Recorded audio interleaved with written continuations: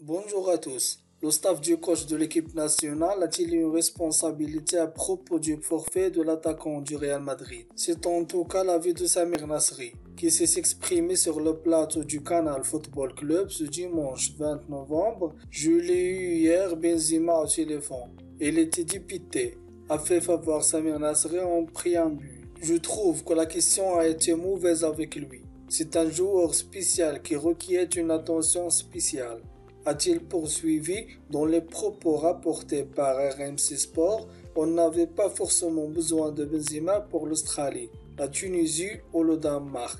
C'est un joueur qui le fait franchir un palier. Tu en avais besoin pour les matchs à élimination directe, donc je trouve ça vraiment dommageable. Il ne fallait pas le pousser à continuer l'ancien petit prince de l'Olympique Marseille. La saison dernière, il a joué près de 60 matchs. C'est normal qu'il ressente une certaine fatigue. Il a 34 ans. Je pense qu'il ne fallait pas pousser. Là pour ce début de Coupe du Monde à continuer Nassar. Pour conclure, l'ex-joueur de Manchester City a maintenant que pour ce joueur spécial, il fallait une attention spéciale. Ce dimanche 20 novembre sur Twitter, Karim Benzema a pris la parole.